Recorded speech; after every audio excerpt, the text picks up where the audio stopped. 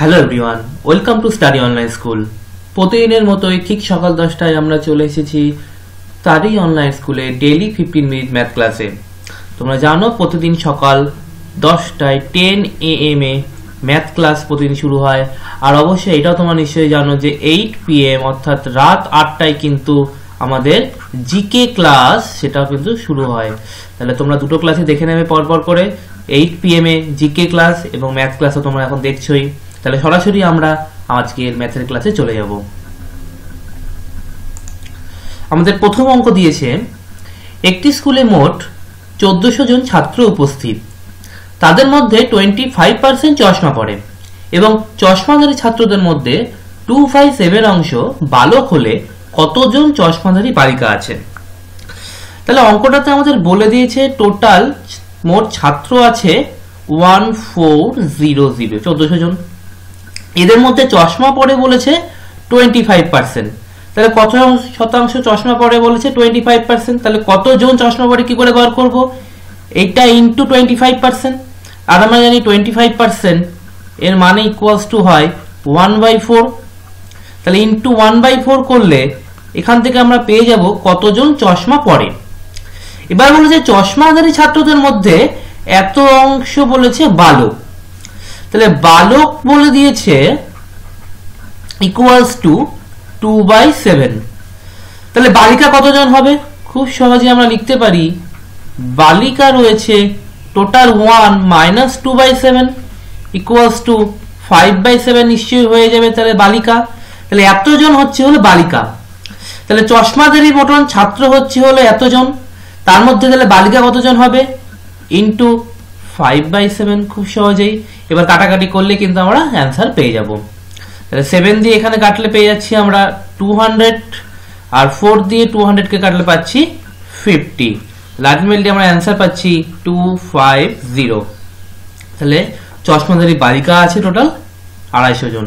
আমাদের আনসার হচ্ছে option C আমাদের পরবর্তী অঙ্ক বলেছে একটি পাম্পের সাহায্যে একটি জলাধার পূর্ণ হতে দুই ঘণ্টা সময় লাগে। কিন্তু ছিদ্র হওয়ার দরুন জলাধারটি পূর্ণ হতে দুই পূর্ণ একের তিন ঘণ্টা সময় লাগে। তাহলে ছিদ্রের সাহায্যে সম্পূর্ণ জলাধারটি খালি হতে কত সময় লাগবে? তাহলে অঙ্কটা আমাদের দিয়ে দিয়েছে, একটি পাম্পের সাহায্যে জলাধারটি পূর্ণ হতে টোটাল টু আওয়ার সময় লাগে। আটটি ছিদ্র রয়েছে, তাহলে ছিদ্র হওয়ার জন্য পি প্লাস এল এইভাবে আমরা লিখতে পারি। পাম্প প্লাস একটা লিক তার জন্য কতটুকু সময় লাগবে বলেছে? দুই ঘণ্টা সরি দুই পূর্ণ একের তিন ঘণ্টা equals to seven by three hours total সময় লাগে। তাহলে আমরা এখান থেকে এক ঘন্টায় কে কতটুকু করে নিশ্চয়ই বার করে ফেলতে পারব? তাহলে পাম্পের ক্ষেত্রে আমরা কতটুকু বের করব? আমরা ধরে নিচ্ছি টোটাল হচ্ছে হলো এক অংশ কাজ, অর্থাৎ পুরো পাম্প ভর্তি হতে যেটুকু কাজ সেটা হচ্ছে এক অংশ। তাহলে পাম্প দুই ঘন্টায় ভর্তি করে এক অংশ। তাহলে এক ঘন্টায় কতটুকু ভর্তি করবে খুব সহজেই আমরা পেতে পারি ওয়ান বাই টু অংশ। ঠিক একই রকম ভাবে আমরা যদি পি প্লাস এল এর ক্ষেত্রে হিসাবটা করি, কত করব? সেভেন বাই থ্রি আওয়ার লাগে পি প্লাস এল এর ক্ষেত্রে পুরো এক অংশ ভর্তি করতে। তাহলে এক ঘন্টায় কতটুকু করবে? খুব সহজে উল্টে যাবে থ্রি বাই সেভেন অংশ।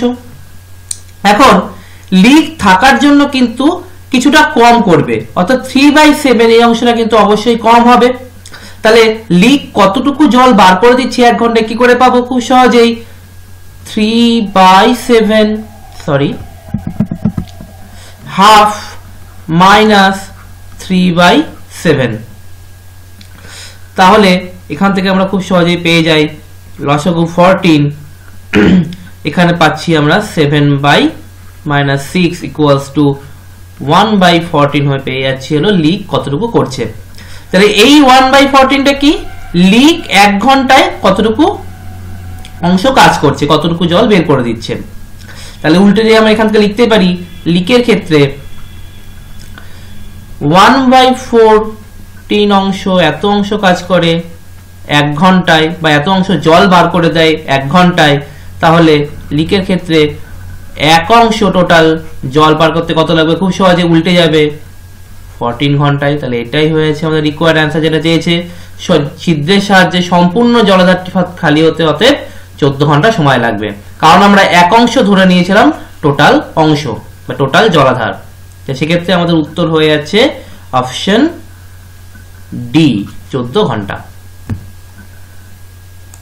আমাদের পরের অঙ্ক বলেছে একটি হোম থিয়েটারের ক্রয় মূল্য ফোর নাইন ফাইভ জিরো টাকা। পর্যায়ক্রমে টোয়েন্টি পার্সেন্ট এবং ফিফটিন পার্সেন্ট ছাড় দেওয়ার পর দ্রব্যটির বিক্রয় মূল্য কত হবে তা নির্ণয় করো। তাহলে এখানে বলেছে পর্যায়ক্রমে টোয়েন্টি পার্সেন্ট এবং ফিফটিন পার্সেন্ট ছাড় দিয়েছে। তাহলে পর্যায়ক্রমে ছাড় দেওয়ার সূত্র আমরা নিশ্চয়ই জানি, আমরা আগের ভিডিওগুলোতে আমরা দেখেছি পর্যায়ক্রমে ছাড় দেওয়ার সূত্র হয়ে যায় X plus Y plus X into Y by hundred এটাই হয়ে যায় আমাদের পর্যায়ক্রমে, অর্থাৎ আলটিমেটলি কত আমাদের ছাড় হবে সেইটা। এক্ষেত্রে যেহেতু ছাড় বলেছে, তাই আমরা নেগেটিভ সাইনটা লিখব, এর আগে আমরা জানি। তাহলে এক্ষেত্রে আমরা কীভাবে বার করব পর্যায়ক্রমে ছাড়ের আলটিমেটলি ছাড়?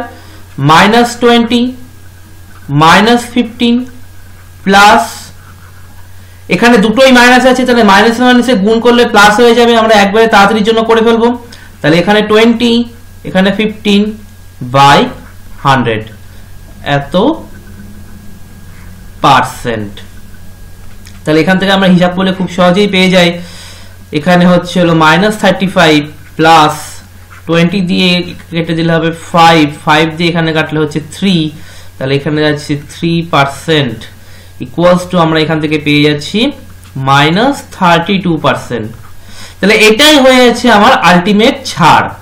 তাহলে এটা হয়ে যাচ্ছে আমাদের আলটিমেট ছাড়ের পার্সেন্টেজ এবার আমরা ধরে নিচ্ছি যে আমাদের সিপি হচ্ছে হলো equals to total hundred percent তাহলে এসপি কত হবে? নিশ্চয়ই ছাড়টা বাদ দিলেই পেয়ে যাব। তাহলে হান্ড্রেড মাইনাস থার্টি টু এটাই হয়ে যাবে আমাদের তাহলে নিশ্চয়ই CP sorry SP equals to আমরা দাঁড়িয়ে যাচ্ছি এখানে সিক্সটি এইট পার্সেন্ট আরেকটা বার এখানে অবশ্যই বলে দিই, এখানে নেগেটিভ বেরিয়েছে। নেগেটিভ বেরোনোর মানে কিন্তু এটা ছাড় দিয়েছে। নেগেটিভ মানে কিন্তু এখানকার নেগেটিভ নয়। এটা কিন্তু ভালো করে মাথায় রাখতে হবে।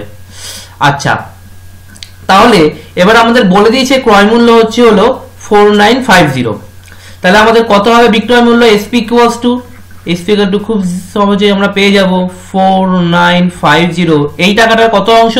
সিক্সটি এইট পার্সেন্ট করলে কিন্তু আমরা পেয়ে যাচ্ছি। তাহলে into sixty eight by hundred তাহলে এখান থেকে ও একটা জিরো এখান থেকে একটা জিরো ক্যান্সেল এখান দিয়ে টু দিয়ে কাটলে পেয়ে যাচ্ছি আমরা থার্টি ফোর এখানে টু দিয়ে কাটলে ফাইভ ফাইভ দিয়ে এখানে ক্যান্সেল করলে ninety nine then ninety nine thirty four আমরা যদি ক্যালকুলেট করি মাল্টিপ্লাই করলে পেয়ে যাই থ্রি থ্রি ডবল সিক্স এটাই হচ্ছে আমাদের রিকোয়ার্ড বিক্রয় মূল্য বা এসপি অর্থাৎ দ্রব্যটির বিক্রয় মূল্য কত হয়েছে তাহলে? Option C double three double six আমাদের পরবর্তী অঙ্গ দিয়েছে, একটি চোঙের ব্যাসার্ধ এবং উচ্চতা উভয়ই টোয়েন্টি পার্সেন্ট হ্রাসপ্রাপ্ত হলো। তাহলে চোঙের আয়তন কত শতাংশ হ্রাসপ্রাপ্ত হবে? আমরা জানি যদি কোনো চোঙের রেডিয়াস অর্থাৎ ব্যাসার্ধ আর হয় এবং উচ্চতা যদি এইচ হয়, তাহলে আয়তন ভি ইকুয়ালস টু আমরা লিখতে পারি pi into r square H এখান থেকে আমরা লিখতে পারি ভি সমানুপাতিক আর স্কোয়ার এইচ কারণ পাই হচ্ছে কনস্ট্যান্ট তাহলে ভি সমানুপাতিক আর স্কোয়ার এইচ আমরা লিখতেই পারি। এবার আমার অঙ্কে বলে দিয়েছে যে ব্যাসার্ধ এবং উচ্চতা, অর্থাৎ আর এবং এইচ উভয়ই টোয়েন্টি পার্সেন্ট হ্রাসপ্রাপ্ত হয়েছে। তাহলে আমরা জানি টোয়েন্টি পার্সেন্ট মানে কত জানি? টোয়েন্টি পার্সেন্ট সমান হিসেবে আমরা জানি ওয়ান বাই ফাইভ তাহলে অঙ্কটাকে আমরা এইভাবে লিখতে পারি। প্রথমে লিখলাম আর পরে লিখছি এইচ এবং তারপরে V implies that r square H এই তিনটে আমরা ট্রাম লিখে নিলাম। যেহেতু টোয়েন্টি পার্সেন্ট হ্রাসপ্রাপ্ত হয়েছে equals to one by five তাহলে লিখতে পারি, প্রথমে ব্যাসার্ধ ছিল ফাইভ পরে কমে গিয়ে অর্থাৎ এক যেহেতু কমে গেছে, তাহলে পরে গিয়ে হয়েছে ফোর উচ্চতা উচ্চতাও টোয়েন্টি পার্সেন্ট হ্রাসপ্রাপ্ত হয়েছে, তাহলে প্রথমে ছিল ফাইভ পরে হয়েছে ফোর কারণ এখান থেকে আমরা এটা দেখতে পারি, প্রথমে ফাইভ এবং পরে হয়েছে ওয়ান কারণ ওয়ান হচ্ছে কমে গেছে, তাহলে এখান থেকে বাদ দিলেই আমরা এটা কিন্তু পেয়ে যেতে পারি। এবার করসপন্ডিং ভি এর ভ্যালু কত হবে? ভি এর ভ্যালু এখান থেকে দেখতেই পারি আমরা আর স্কোয়ার ইন্টু এইচ রয়েছে। তাহলে এখান থেকে কি হবে? প্রথমে ছিল ফাইভ স্কোয়ার আর এইচ এর ভ্যালু ছিল ফাইভ তাহলে এটা কত হচ্ছে equals to one twenty five আর এক্ষেত্রেও ঠিক প্রথমে কত হবে? আর স্কোয়ার মানে ফোর স্কোয়ার ইন্টু এইচ এর ভ্যালু ফোর তাহলে আলটিমেটলি কত দাঁড়াচ্ছে আমাদের ফোর কিউব তার মানে আমার দাঁড়াচ্ছে সিক্সটি ফোর অর্থাৎ ভি প্রথমে ছিল ওয়ান টোয়েন্টি ফাইভ এবং ভি পরে হয়ে গেছে আয়তন। সিক্সটি ফোর তাহলে প্রথম থেকে শেষে যখন হচ্ছে, দ্বিতীয়বারে কতটুকু কমছে? সিক্সটি ওয়ান কমে যাচ্ছে, অর্থাৎ সিক্সটি ওয়ান হ্রাসপ্রাপ্ত হচ্ছে। তাহলে আমরা রেশিওটা এখান থেকে বের করে ফেলতে পারি। কতটুকু কমেছে আয়তন? ভি কমেছে আয়তন সিক্সটি ওয়ান কার সাপেক্ষে কমেছে? প্রথমে এটা ছিল one twenty five one twenty five এর সাপেক্ষে কমেছে। তাহলে নিচে one twenty five into hundred করলেই আমরা পার্সেন্টেজ কিন্তু পেয়ে যাব। তাহলে এখান থেকে আমরা একটু সিম্পলিফাইড করে দিই। এখানে পঁচিশ দিয়ে কাটলে নিচে ফাইভ এখানে পঁচিশ দিয়ে কাটলে ফোর আর কাটাকুটি কিছু হবে না দেন ইকুয়ালস টু আমরা লিখতে পারি এখানে ফোর এখানে two two twenty four by five এত পার্সেন্ট ইকুয়ালস টু আমরা এখানে সিম্পলিফাইড করলে পেয়ে যাই forty eight point eight percent অর্থাৎ এটাই হয়েছে আমাদের রিকোয়ার্ড অ্যান্সার তাহলে সেটা হচ্ছে আমাদের অপশন বি তাহলে এক্ষেত্রে আমাদের পদ্ধতিটা কিন্তু মনে রাখা দরকার, কারণ এখানে আমরা ভি সমানুপাতিক আর স্কোয়ার এইচ এটা কিন্তু করে নিয়ে তারপর আমরা এখানে পুট করে দিয়েছি। আমাদের পরবর্তী অঙ্ক দিয়েছে, tan square X plus tan to the power four X equals to one হলে cos square X plus cos to the power four এক্সের মান নির্ণয় করতে বলেছে। তাহলে অঙ্কটা আমরা এখান থেকে লিখে নেব, যেটা দিয়েছে আমাদের প্রথম condition tan square X plus tan to the power four X equals to one then এখান থেকে আমরা tan স্কোয়ার এক্স এটা কমন নেব। কমন নিলে কত পড়ে থাকবে? One plus tan square X এটা equals to one then next line tan square X এখানে থাকল। এবার আমরা এই one plus tan square X এটাকে কি লিখতে পারি? One plus tan square X কে আমরা লিখতে পারি sec square X equals to তাহলে ওয়ান হবে। এটা কীভাবে লিখতে পারি আমরা জানি? Sec square X minus tan square X এটা ইকুয়ালস টু ওয়ান হয়। এটা আমরা জানি। সেখান থেকে তাহলে কি পাবো? tan sec square X equals to tan square এক্সটাকে যদি ওদিকে নিয়ে যাই, তাহলে পেয়ে যাই one plus tan square X তাহলে এই ওয়ান প্লাস tan স্কোয়ার এক্সের ভ্যালুটাই কিন্তু সিক্স স্কোয়ার এক্স আমরা এখানে পুট করে দিয়েছি। তাহলে নেক্সট লাইনে আমরা কি লিখতে পারি? Tan স্কোয়ার এক্স এটা ইকুয়ালস টু এটা হয়ে যাবে সিক্স স্কোয়ার এক্সটা এদিকে নিয়ে গেলে one by sec square X then equals to tan square X equals to one by sec square X মানে cos স্কোয়ার এক্স এবার এখান থেকে আরেকটা জিনিস আমরা লিখতে পারি, যদি এদিকে দুদিকে যদি হোল স্কোয়ার করে দিই, তাহলে আমরা কি পাবো? tan to the power four X equals to এদিকে হোল স্কোয়ার করলে তাহলে কত পাবো? cos to the power four X তাহলে সিম্পলি কিন্তু এই দুটো ভ্যালু আমরা পেয়ে গেছি। এবার আমাদের যেটা বলে দিয়েছিল অঙ্কে, সেটা আমরা লিখব। অঙ্কে আমাদের কি বলে দিয়েছিল? বের করতে হবে cos square X plus cos to the power four X এটার ভ্যালু কিন্তু আমাদের বের করতে দিয়েছে। তাহলে যেটার ভ্যালু বের করতে দিয়েছে, সেটা আমরা এবার লিখে নিয়েছি। এবার এখান থেকে আমরা দেখতে পাচ্ছি আমরা এখান থেকে দেখতে পাচ্ছি, এই ভ্যালুটা কিন্তু আমাদের cos স্কোয়ার এক্সের ভ্যালুটা tan স্কোয়ার এক্স হয়। তাহলে tan স্কোয়ার এক্স আমরা বসিয়ে দেবো। খুব সহজে এখানে tan স্কোয়ার এক্স আর এখান থেকে আবার cos স্কোয়ার এক্সের ভ্যালু কিন্তু আমরা পেয়ে গেছি। কত হয় সেটা? tan to the power X তাহলে এখানে আমরা tan to the power X বসিয়ে দেবো। তাহলে আমাদের আলটিমেটলি যেটা দাঁড়াল সেটা হচ্ছে tan square X plus four square X আমাদের অঙ্কের দিকে আমরা যদি তাকাতে পারি, তাহলে দেখতে পাচ্ছি tan square X plus four square equals to কত হয়? ওয়ান হয়। আমাদের অঙ্কে বলাই ছিল। তাহলে এই ভ্যালুটা হয়ে যাবে ওয়ান অর্থাৎ আমাদের যেটা ভ্যালু বার করতে দিয়েছে cos square X plus tan square এর ভ্যালু ইকুয়ালস টু ওয়ান দাঁড়িয়ে গেল। অঙ্কটা কিন্তু খুবই ভালো অঙ্ক। খুব ভালো করে মন দিয়ে করলে কিন্তু অঙ্কটা একদমই সোজা হয়ে যাবে। তাহলে আমাদের হয়ে যাচ্ছে অপশন বি রিকোয়ার্ড অ্যান্সার আমাদের পরবর্তী অঙ্ক দিয়েছে এ বি সি ডি একটি বৃত্তস্থ ট্রাপিজিয়াম এডি ও বিসি হলো সমান্তরাল বাহুদ্বয় যদি angle ABC equals to seventy two degree হয়, তবে অ্যাঙ্গেল বিসিডি এর মান নির্ণয় করো। অঙ্কটি খুবই সোজা। শুধু ট্রাপিজিয়াম, অর্থাৎ বৃত্তস্থ ট্রাপিজিয়ামের একটি নির্দিষ্ট ধর্ম কিন্তু যদি আমরা জানতে পারি, তাহলে কিন্তু অঙ্কটা খুব সহজেই আমরা করে ফেলতে পারব। বলেছে বৃত্তস্থ ট্রাপিজিয়াম। তাহলে আমরা বৃত্তস্থ ট্রাপিজিয়াম প্রথমে একটা এঁকে নিই।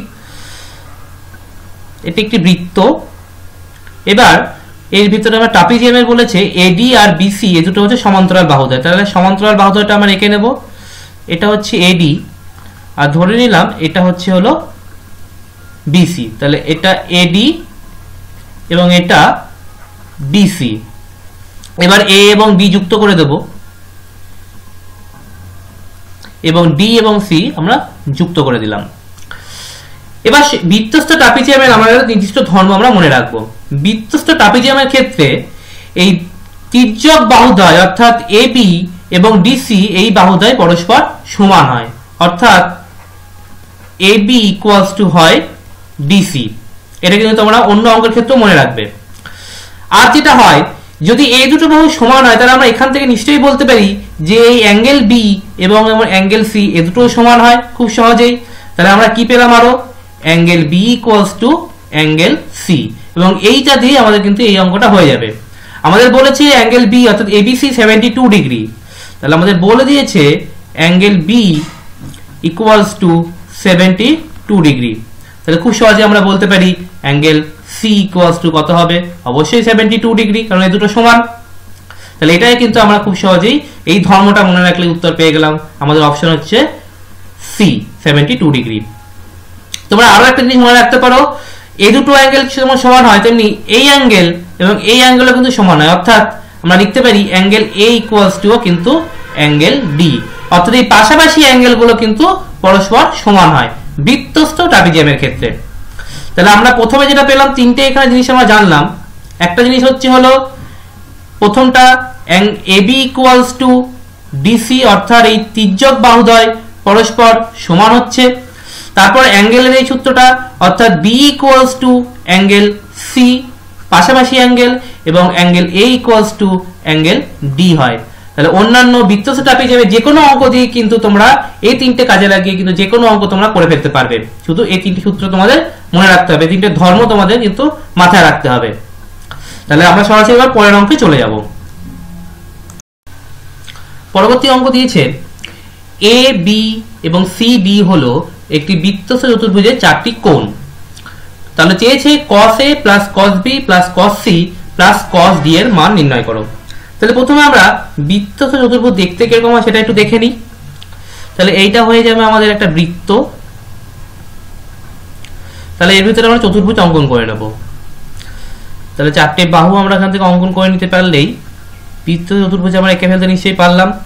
তাহলে নামগুলো দিয়ে নেব এ এটা বি এটা সি এবং এটা ডি এবার আমরা জানি বিস্তৃত চতুর্ভুজের ক্ষেত্রে বিপরীত কোণগুলো সমষ্টি হয়ে যায় ওয়ান এইটি ডিগ্রি অর্থাৎ এই অ্যাঙ্গেল এ এবং অ্যাঙ্গেল সি কত হয়ে যাবে? ওয়ান এইটটি এবং অ্যাঙ্গেল ডি এবং অ্যাঙ্গেল বি কত হয়ে যাবে?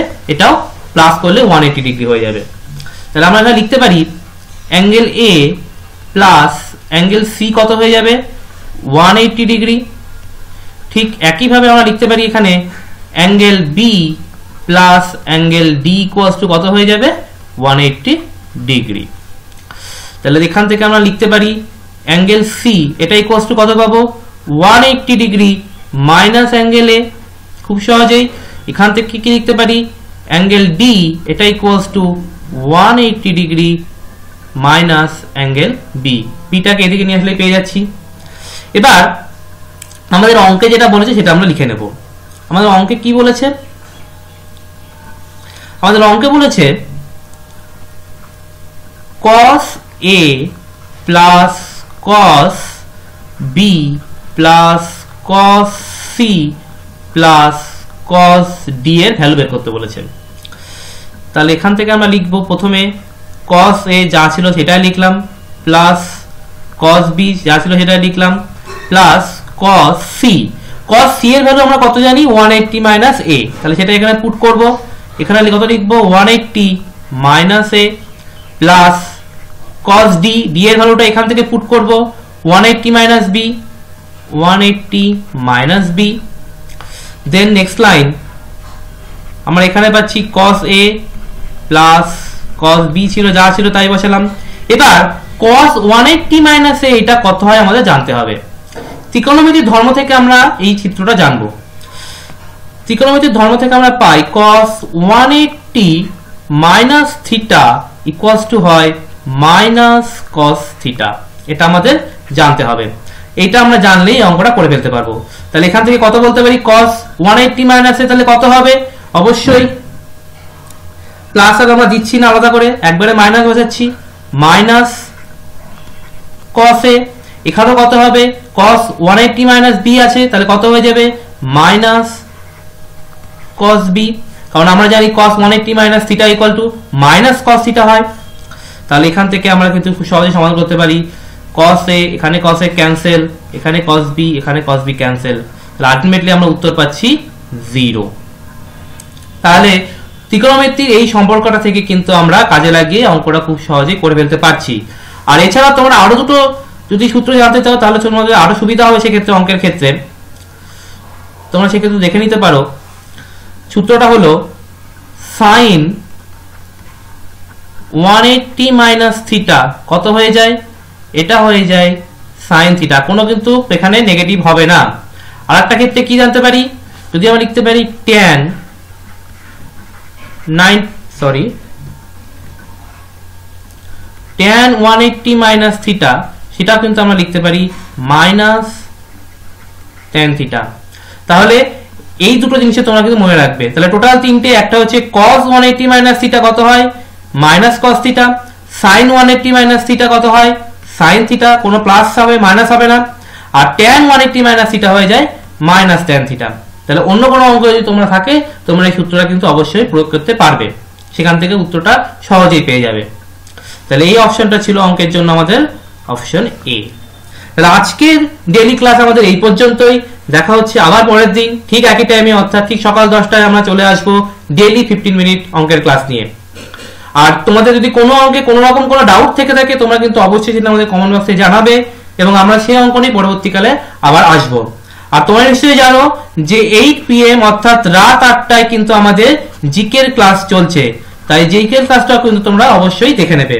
আর ভিডিওটা ভালো লাগলে অবশ্যই এটা লাইক করবে আর সাবস্ক্রাইব করবে পরবর্তী ভিডিও চ্যানেল জন্য। তাহলে কালকে আবার দেখা হচ্ছে। ভালো থেকো have a good day thank you for watching my video if you not subscribe yet please subscribe and if you like the video please share